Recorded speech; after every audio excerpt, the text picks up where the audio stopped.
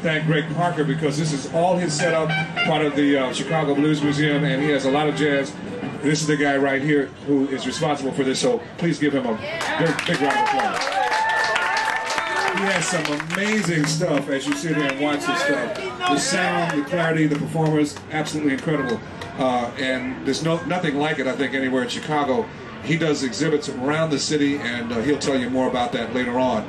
But what I do want to tell you is that Chicago Public Radio, WBEZ, where we play a lot of jazz, our our booth is right next door. Stop by and see us and say hello. We have some things we'd like to share with you about our schedules and when we play music and uh, some of the things we're doing next month. Each month we feature uh, an artist or a given style. Next month is a celebration of the 75th birthday of Horace Silver. So we'll be playing a lot of Horace Silver next month and also the 75th birthday celebration of Cannonball Adderley. So we'll be doing both of those next month. And we want, want to make sure that you tune in and check it out. We'll be playing those throughout the month along with all the other jazz artists that we play. Uh, just so you'll know who we are, uh, our, our on-air uh, personalities and jazz hosts are Chris Hine, Dan Bender, Larry Smith. Somebody who goes way back with Larry Smith. Uh, uh, Sarah Toulouse. And we also have um, blues on the weekend. I don't know if you had a chance to hear uh, Niles Frantz and uh, Coming Home, which is a blues show from 9 to midnight on Saturday night. And then at the Coltrane days uh, during during during the, during the days when uh, Elvin was with him. Can you name the uh, bass player during that period? That you already won. All right. Who? Walt Garrison. Good last name, bad first name. Jimmy Garrison. Who said Jimmy? Okay, come on, man. Get this early John Coltrane photo. Man, he must have been about 12. No, I'm just kidding. there you go. Okay. Uh, okay, another Coltrane. Uh, okay. Uh, That worked out all right. Name the very famous Coltrane composition that everybody plays. It starts with the letter N as in no. What's the... Naima. Come on, man. Here you go. Naima. All right. What's your jazz IQ? All right, here's a couple. Oh, here's a little. Here's a little different. here's this is just a little bit different. We got some Ike and Tina Turner. Wow, Tina. Oh, I'm sorry. Okay. It. All right, uh, Ike and Tina Turner. Can you name any uh, Tina Turner hit? Did you win already? River Deep Mountain All right, what's love got to do with it? Come on, you already won, so okay. What's love got to do? Come on, man. All right. What's, what's love got to do with it? Can you name another one? River Deep Mountain High. River Deep Mountain High. Yeah, that was Ike and Tina. All right, there you go. You know what to do. All right. All right, here's another Miles. This is, boy, Miles was about, wow. Miles must have been about 25 in this, on this picture, but this was a very cool picture. Okay? All right, everybody will know the answer to this one. The first one with the right answer. Uh, what was the best-selling Miles Davis album of all time? Who, who said that? You said what? Kind of Blue. There you go. Miles when he was a, a young man. All right. Okay, and I got got one more Miles, uh, and the question would be, um, uh, let me see. The question would be, what Hollywood actress was Miles married to at one point? Cicely Tyson. There you go. Yeah, it's Miles. I'm not being sexist, but I knew a woman would know the answer to that question.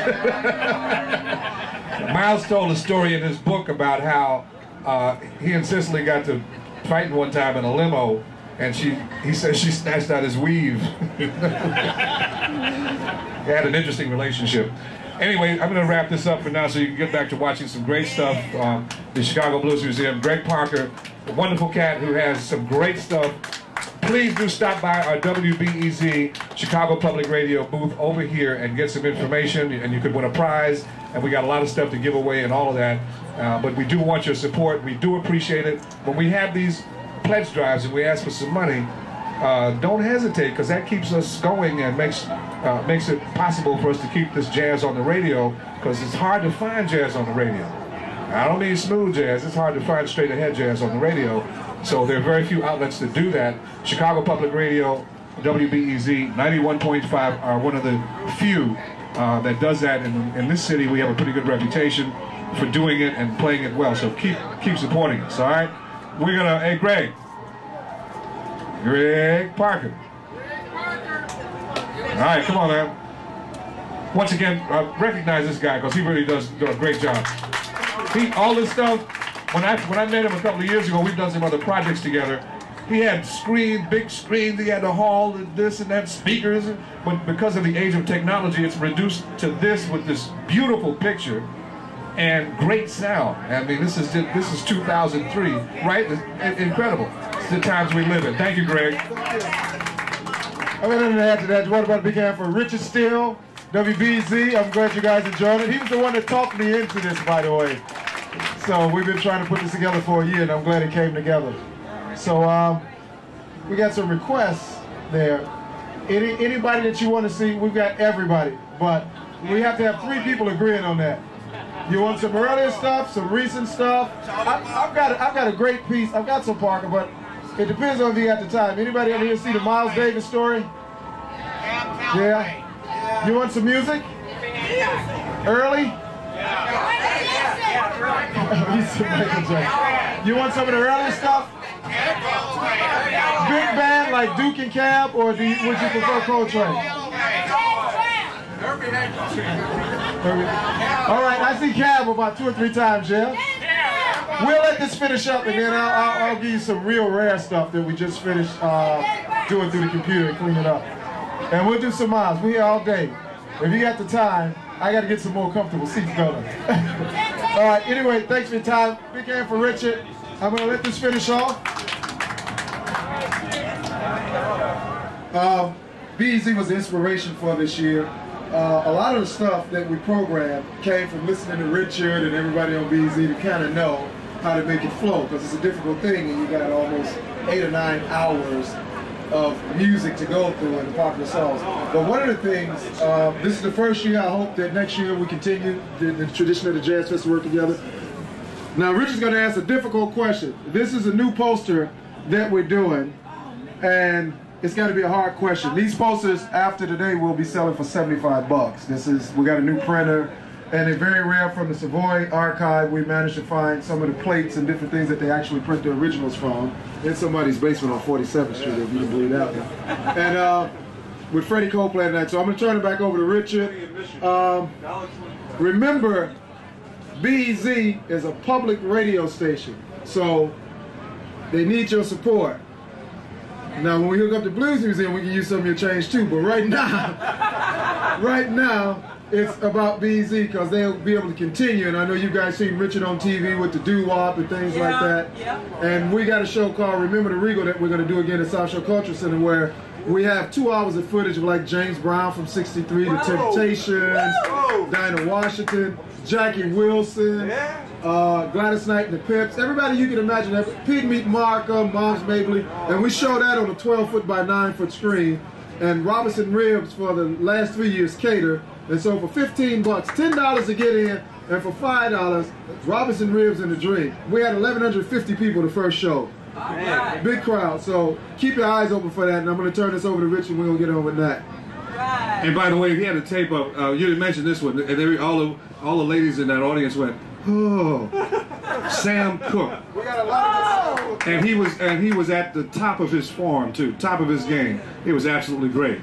Okay, so we got this Nat Cole it is posted. okay. 500, and that's it. All right. No more than that. So we're gonna make it real difficult because you know. Okay. okay. So okay, the question is. Uh, what TV programs did Nat King Cole watch? All right. Uh, we know that uh, we know about uh, Nat and Freddie. Can you give me the first name of one of his other brothers? Ike. Uh, who? Ike. Ike Cole. You got it right, my man. Ike. Come on, you got the poster, brother. It's that easy. Yeah, see? Come on, don't be in no rush. right, take your time. No, no, no rush, you know. You know what? And, and I tell you, there's a different, because uh, I've been in radio a long time, done a lot of contests in a lot of places. There's a different psychology about men and women winning prizes when women win prizes, they oh, and then when guys win prizes, they okay, that's cool, you know, straight, you know. What's your name, man? Richard Taylor. You're Richard. Yay! That's a good name. Here you go, Richard. Congratulations. Thanks a lot. Ike Cole, you're right. Absolutely. A fine family of musicians. All right, so again, uh, tonight, don't don't miss Freddie Cole, who, uh, Freddie, Freddie's a